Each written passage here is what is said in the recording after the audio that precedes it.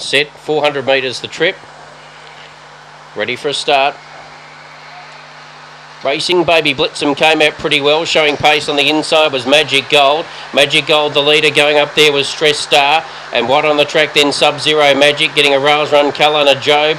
Our wide was Cosmic Code. Then for the back Baby Blitzum.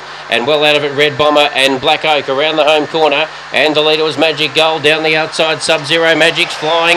It's Magic Gold in front. Magic Gold just from Sub Zero Magic, Cosmic Code. And fourth will be Baby Blitzum.